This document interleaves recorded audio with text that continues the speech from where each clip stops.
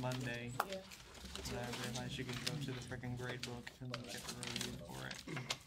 So I have it written down on, like I had it written down in, in MS Paint on I don't know. Okay. Uh, so Dr. Gan says you've been.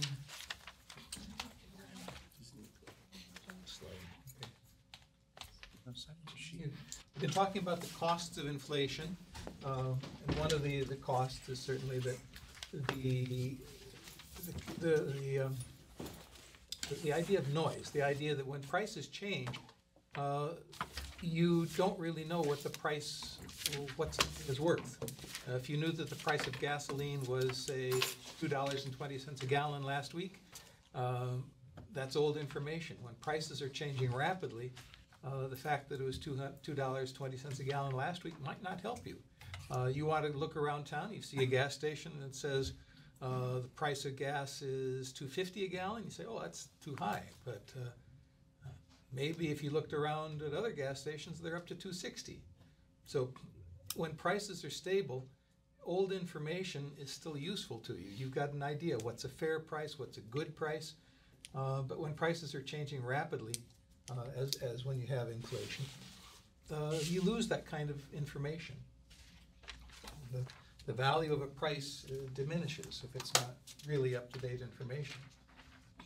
Uh, distortions in the tax system, we probably talked about this last time. Um, Distortions in the tax system, there's bracket creep. If your, your income, maybe you've got a certain income and you're in the twenty-five percent tax bracket, if they put you over the line, then you're into the, if your inflation raises your income, uh, but the tax brackets don't change, then you're put into the next tax bracket. You may end up paying thirty-five percent instead of twenty-five percent tax.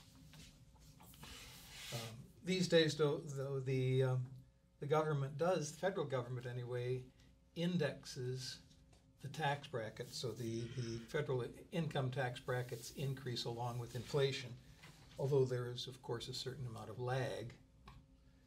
Um, Capital gains, um, capital depreciation allowance is- not indexed, yeah. Um, Capital gains just nominal value. If You've got a, an asset, you've got a house that's uh, worth a hundred thousand dollars, inflation raises that to hundred and twenty. You're really not any richer, because if you tried to sell that house and buy goods, it would still be worth hundred and twenty dollars.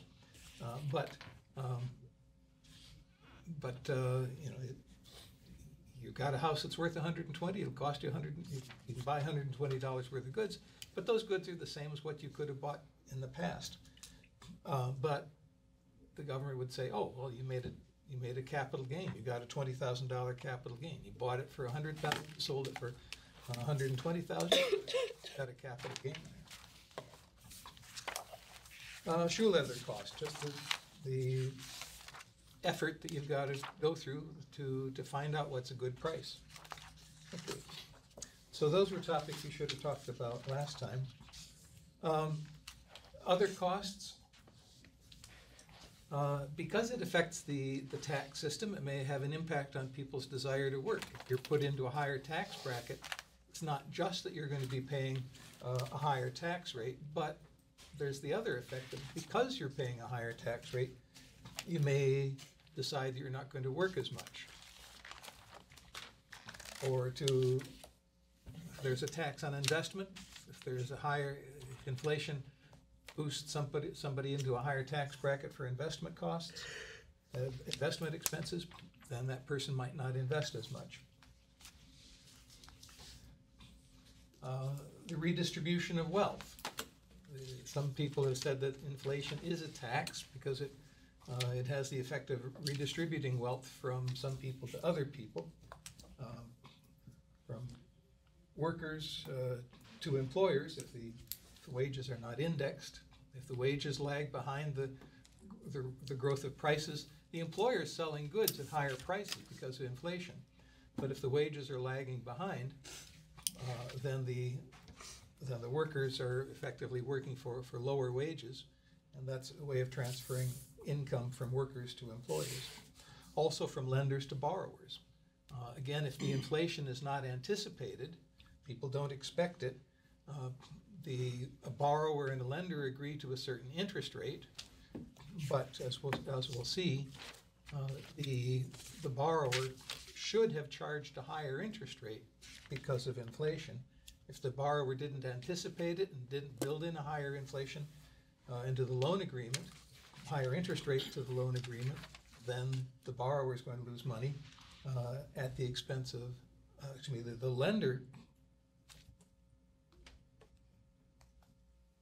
This says from lenders to borrowers. Uh, not sure that's correct. Um, usually, when there's unanticipated inflation, uh, it is yeah yeah it's, it is the borrower who, who benefits. The lender, uh, who's who's going to be worse off because of the inflation. The lender should have built in a higher interest rate. Um, okay, uh, interference with long-run planning. This is, in my opinion, this is uh, probably the most significant. It becomes very difficult to plan. Businesses hate uncertainty. So if they're not sure what the inflation rate's going to be or what prices are going to be like two years from now, five years from now, it makes it very difficult for businesses to, to make plans. Uh, so they're not going to make the investments, uh, not, not being sure that those are going to be profitable. Uh, individuals really have no idea how much an individual is going to need to save for retirement. To be cautious, an individual would, an individual worker would have to save more just in case inflation really gets bad, just in case the person's going to need a bigger retirement nest egg. Um, but also, of course, when people are saving more, they're spending less, and that means that they're, uh, well, they're, they're not generating extra income into the into the circular flow of money through the economy. Uh, and as I said, investment and business strategies may go out the window if people don't know how to plan because they don't know what the future prices are going to be. Okay. Now we've been talking about the effect of inflation on lenders and borrowers. I want to look at that in a little more detail here. The interest rate, the real interest rate, uh, is defined roughly. Uh, this is approximate, but it's a pretty good approximation if the interest rates are low and the inflation rate is low. Uh, the real interest rate is the nominal interest rate minus the rate of inflation. So R stands for the real interest rate, I stands for the nominal interest rate. Oh, okay, thank you. Has the list been all the way around now? Then, okay. I stands for the nominal interest rate, uh, and pi, Greek letter pi here is the rate of inflation. The nominal interest rate is the interest rate that you would see when you walk into a bank and they say, well, we're charging, uh, we're charging 13% on auto loans today. That's a nominal interest rate. Nominal means that it's the interest rate that is stated, quoted. It's going to be the interest rate that's written into a loan agreement. Um, but the real interest rate tells you what the increase in your purchasing power is going to be. If you if you're a lender, you lend money. Uh, the real interest rate is how much your purchasing power increases for every dollar that you that you lend, and when there's inflation, your purchasing power, the purchasing power of the money that you get back from the loan, after after the loan's been paid back, it's going to be worth less. So the real interest rate when there's inflation is going to be lower than the, the stated, the nominal interest rate. So the nominal interest rate, the market interest rate, um, the annual percentage increase in the nominal value of a financial asset. Yeah. Real interest rate, the increase in the purchasing power of the financial asset. So here are some interest rates. Um, people in the back might have a hard time reading that, but uh, some some inflation rates and some real interest rates in in uh, well the 2010 down at the bottom of the table, it says the nominal interest rate was three point two percent. The inflation rate was only one point six percent shortly after the Great Recession, so uh, inflation rates were down. Um,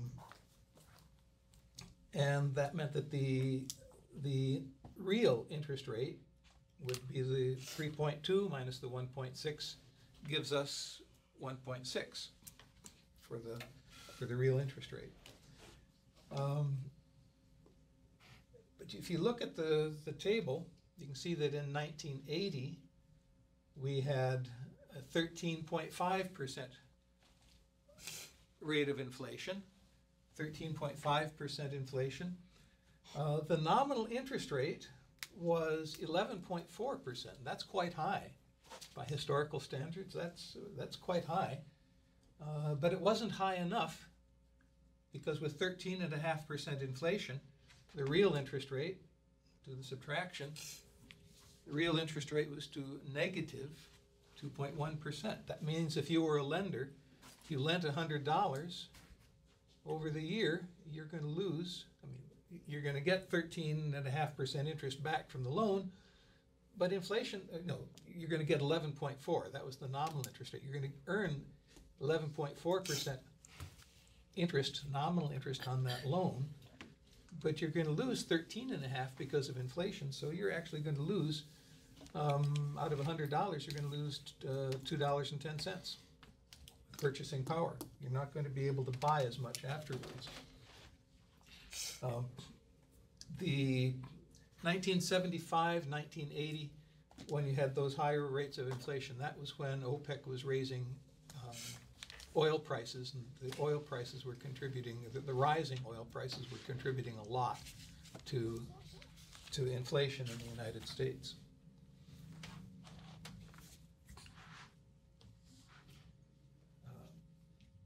Here's a, a table that shows the, the real interest rates. So you see that in between, in between the nineteen seventy-five and nineteen eighty, uh, we did have a period where interest rates were a little bit more normal. Uh, I think of something around the four, five percent being more normal. Uh, Interest rates like nine and a half, real interest rates nine and a half percent little on the high side, kind of high. Um, But what we've been seeing lately, uh, interest rates, re- these are real interest rates, but uh, lately we've been seeing nominal interest rates that are almost zero.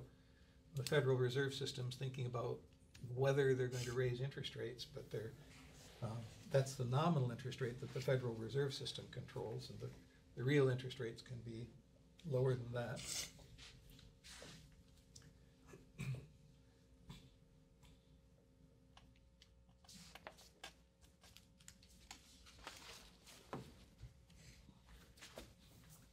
So, who benefits? Who benefits from unanticipated inflation? And it's important to remember that we're talking about unanticipated inflation. Because if you expect inflation, if you anticipate it, there are things you can do to protect yourself against the inflation. You build in a higher interest rate.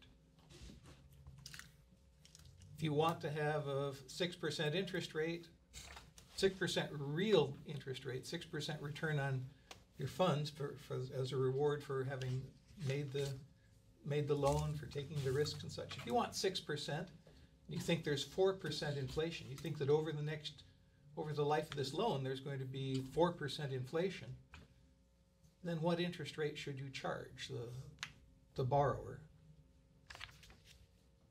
You're, you're expecting six percent, you want a six percent real interest rate. As a lender, you want six percent. You expect four percent inflation. That's higher than we've been having lately, but suppose you expect four percent. What nominal interest rate should you charge the, the borrower? Ten, yeah, add the six percent and the four percent, gives you the nominal rate. So, uh, yeah, unexpected inflation benefits borrowers and hurts lenders because the lender should have been charging higher interest rate um, to, to cover the cost of the inflation. Um, The, the lender, excuse me, the borrower is better off. The borrower is better off because of inflation, because when the, when it's time to pay back the loan, the, the, the the borrower is gonna be paying back with money that's not worth as much. If prices are higher, probably the workers, the, the- the borrower's salary is higher, so it's gonna be easier for the borrower to pay off the loan. Uh, if this is a business borrower, the, the business is going to be selling goods that have higher prices because of inflation, so the, this, again, the borrower is gonna find it easier to, uh, to pay off the loan. So inflation, unanticipated inflation, hurts the lenders, uh, but it benefits the borrowers. Um, And yeah, if they can adjust the nominal interest rate, if they anticipate it, uh, they can make an adjustment, um, then they would, uh, then they're not, they're not gonna be hurt. Um, Some kinds of loans automatically adjust themselves, adjust the interest rate. Have you heard of a kind of a loan where the interest rate changes as the rate of inflation changes?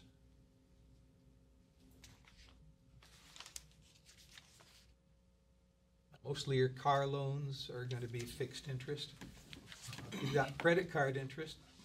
Some cases, the credit card rate's gonna go up um, as the interest rate, inflation rate rises. Some of you are paying twenty-three and a half percent interest. I don't think they're gonna raise that. Um, But uh, one kind, you guys probably don't have to worry about this yet, but the adjusted rate, adjustable rate mortgage, adjustable rate mortgage, an ARM, um, has, it's a long-term loan, and so over the course of that loan, the inflation rate could easily rise, and so banks like to protect themselves against the possibility of an increase in inflation uh, by saying, well, we're gonna tie the, the loan on, the interest rate on this mortgage, this long-term mortgage, to some, uh, some short-term interest rate that's going to rise and fall with the rate of inflation. What else here? Okay, the Fisher effect. Uh, The Fisher effect is the tendency for nominal interest rates to be high when inflation is high. And that's because of that equation that the nominal rate is going to be approximately the real interest rate plus the rate of inflation. So if the, if the lenders want a certain, uh, certain real interest rate, and the borrowers are willing to pay a certain real interest rate, then when there's inflation, that just adds to the, adds to the nominal rate. So when inflation is high, interest rates tend to be high. We saw that back in the 70, 1975 1980 with the, the table. The, uh, the nominal rates were, were high, uh, but not quite as high as the rate of inflation back then. Uh, and then to illustrate that, again, 19, 1980, we saw very high inflation rates, and with a lag, it took people a while to, to adjust to it, but with the lag, the nominal interest rate uh, was, was, uh, was also quite high.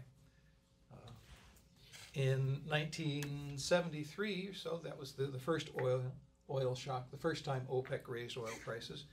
Um, The inflation rate, the, yeah, the inflation rate was about 12%, a little over 12.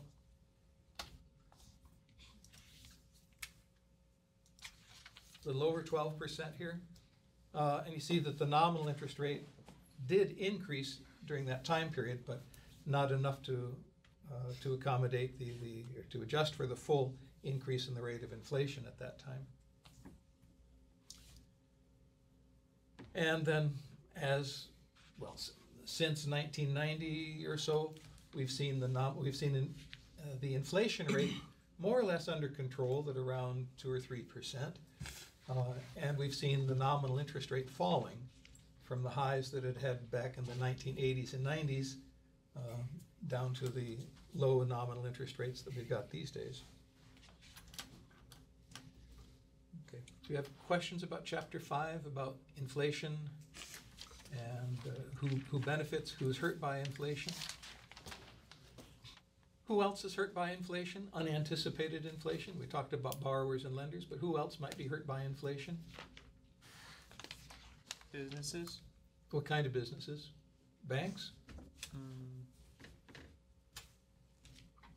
If it's unanticipated, banks tend to be borrowers, it's gonna be, the banks tend to be lenders, and so, uh, yeah, they're gonna be hurt. They're gonna be hurt. investors, Uh, what kind of investors? financial. Financial investors. Uh, it depends on what kind of investments they've made. But aside from the financial sphere, What about retirement? people on retirement, yeah, uh, what, what kind of re- retired people are you thinking about? 401k. People on a four oh one K, very likely, yeah. Very few four oh one K, very few private pension plans are adjusted for inflation.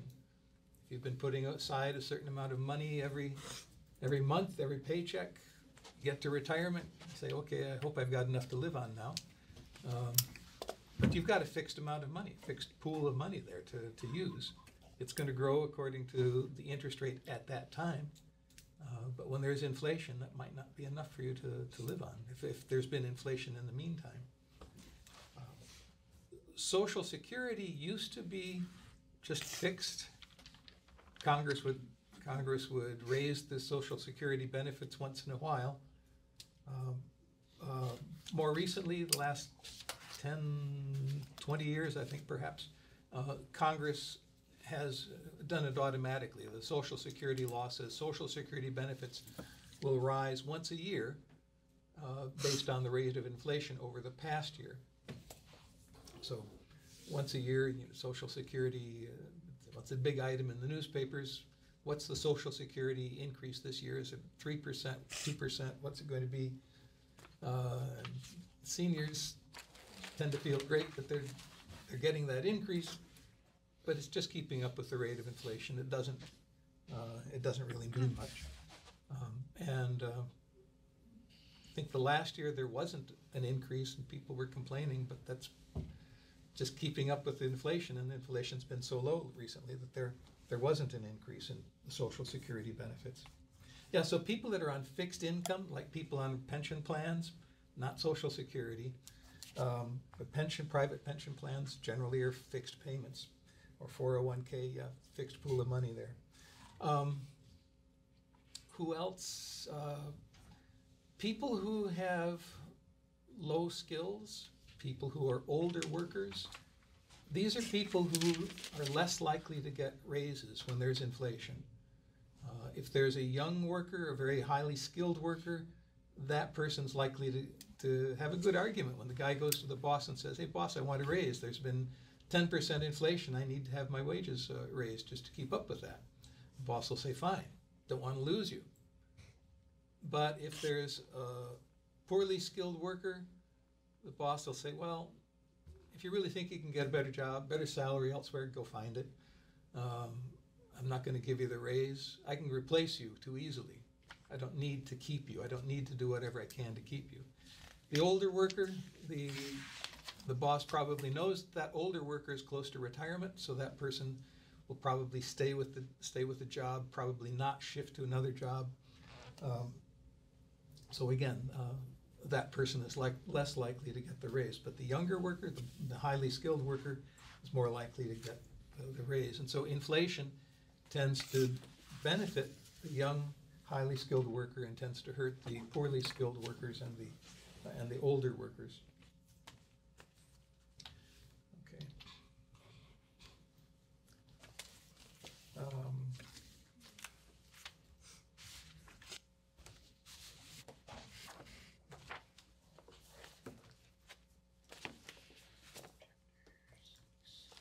Six, we want six. Chapter six. Wages and unemployment.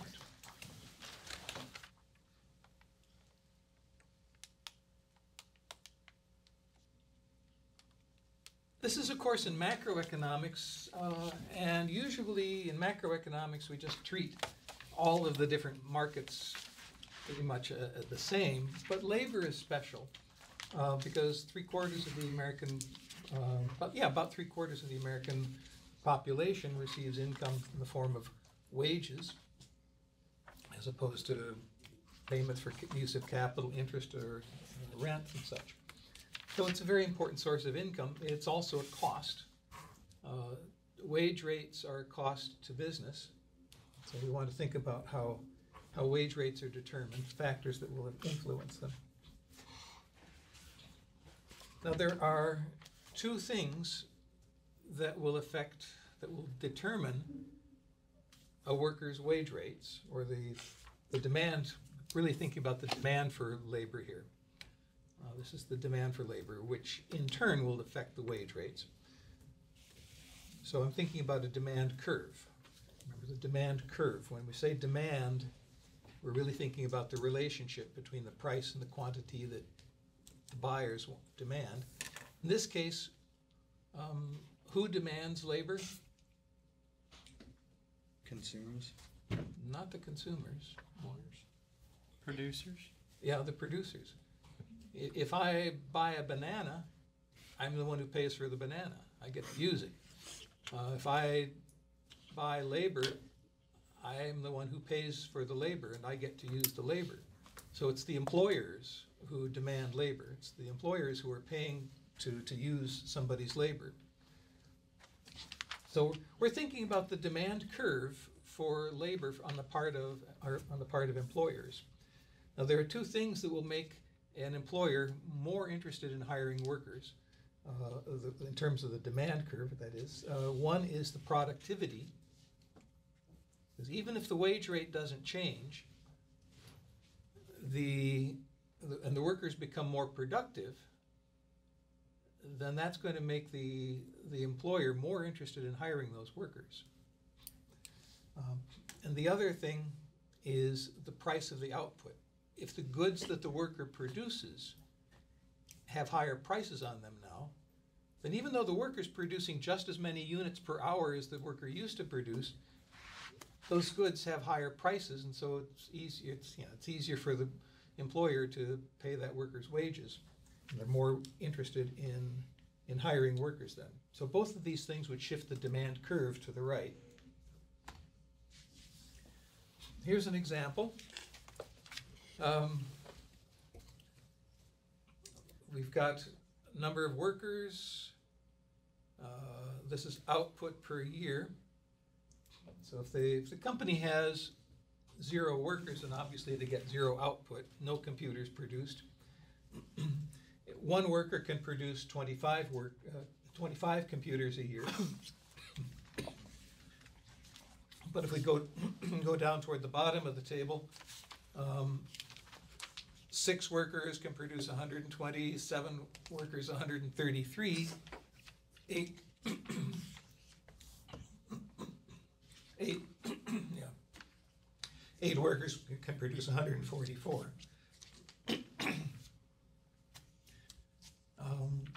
I should point out one assumption that we built into this. That is that we've got diminishing returns. The first worker is very productive. The first worker can produce twenty-five computers a year. Add a second worker, the second worker raises production to forty-eight computers per year, uh, which means that the second worker added twenty-three computers per year to the output. But when we get down to the bottom of the list, adding the eighth worker only adds eleven computers. So what's happening probably is that, the- well, if you're assigning your very first worker, you're the manager, you assign the very first worker to producing computers, you're gonna assign that person to the most important tasks. And those would be the most productive tasks. But when you're, after you've added seven workers and you're thinking about adding the eighth worker, the tasks probably aren't going to be as important. The tasks that are left to, to be done aren't going to be quite as productive, and so the additional worker is not going to have quite as much uh, extra productivity. So we calculate the marginal product. Have you talked about the marginal product in this class? How many of you have had Econ 2020? You- probably, you must have talked about marginal product in that class. So, um, as I said, the first worker increases production by, by twenty-five units. The Second worker adds twenty-three to the product, By the time we get down to the end of the table, the bottom of the table, the eighth worker only adds uh, 11. The, the definition of the marginal product would be the change in the output divided by the change in the number of workers in this case. The input is labor, so it's the change in the output divided by the change in the number of workers. But we're increasing the number of workers by one each step down the table. So the denominator is always one, and we just need to think about the change in the quantity of output. Now, the value of the marginal product is defined as the price of the output, assuming the price stays the same, stays constant.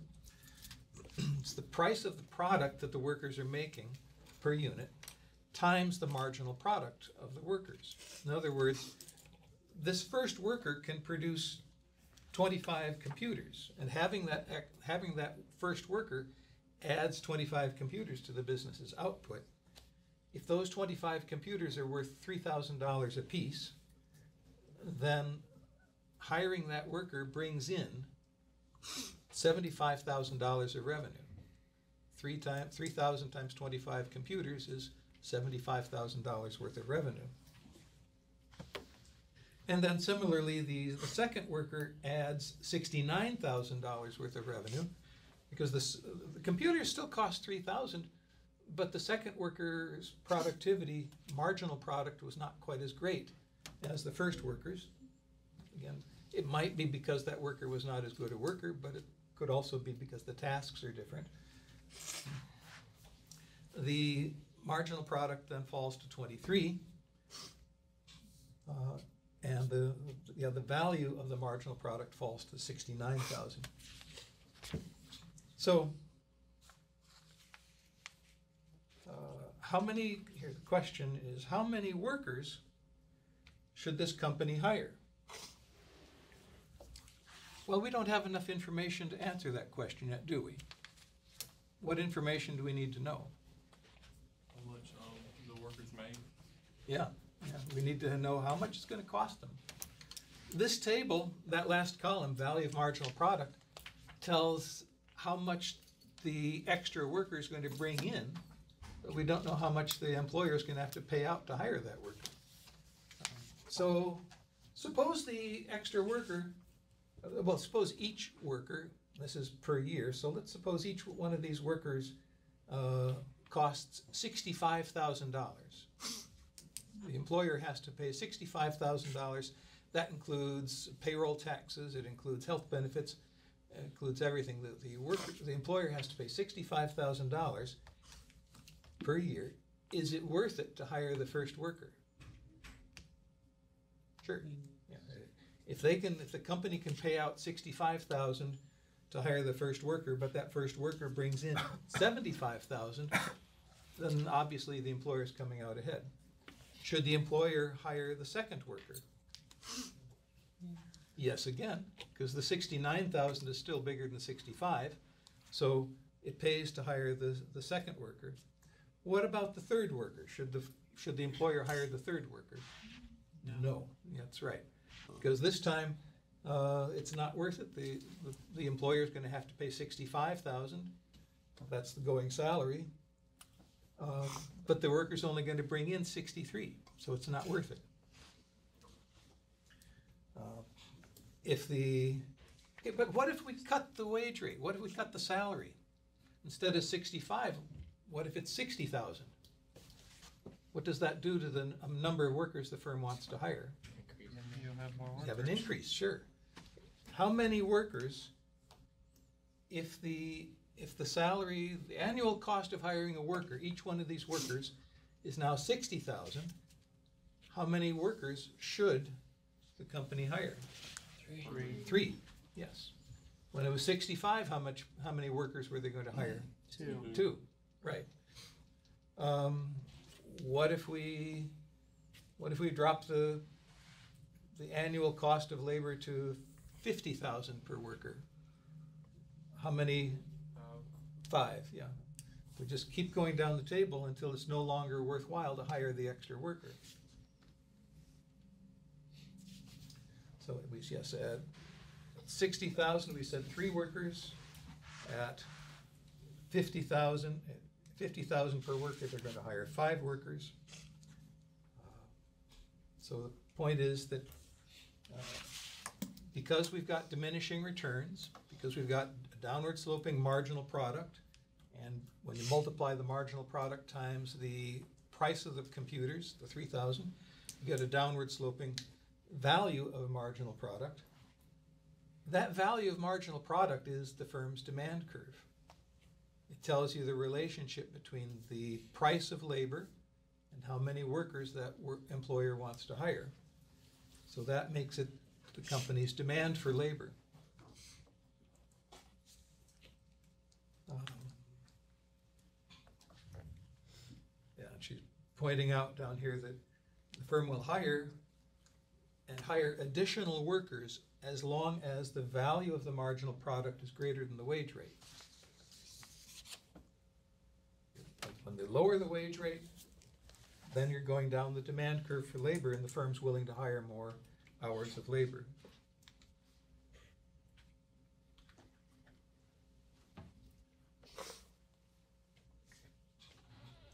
So as I said, this is the demand for labor.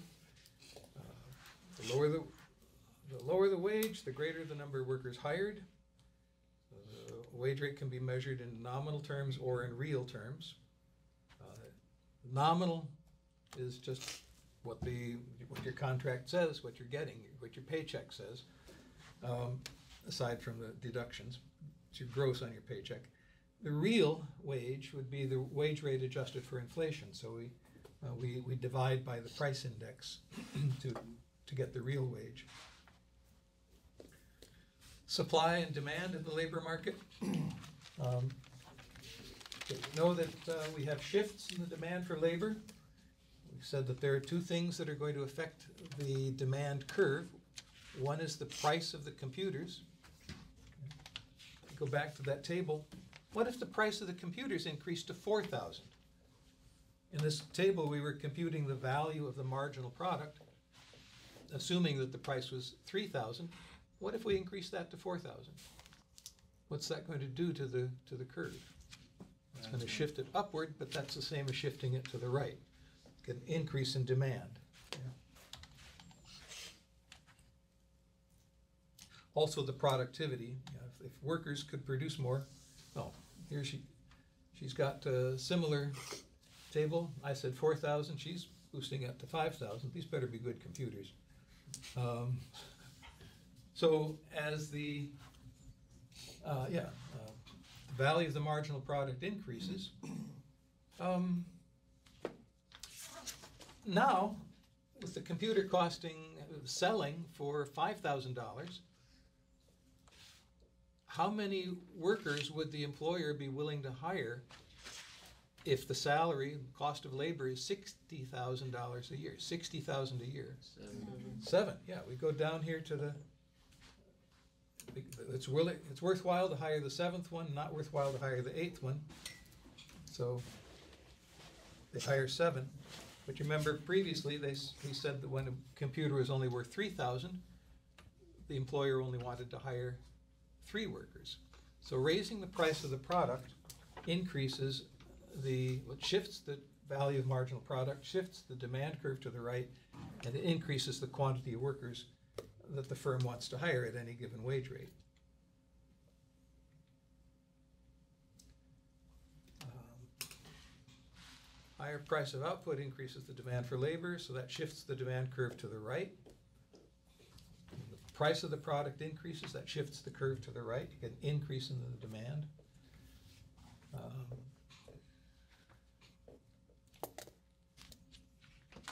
And this one, we've shown the effect of the increase in productivity. Notice that the output per year looks like it's increased by fifty percent. Well, not strictly fifty percent. Um, But that increased the value of the marginal product, and so again, that shifts the demand curve to the right. Increase the productivity, increase the productivity of labor, or increase the value of the goods the workers are producing, the selling price of the goods the workers are producing, either one of those makes the employer want to hire more workers at any given wage rate. So that means the demand curve shifts off to the right. Um, okay, um, I, I feel confident that Dr. Gan will be feeling better and back with you guys on Thursday. Friday. That's right, you guys are Monday, Wednesday, Friday class, so Friday, two days, but you will be back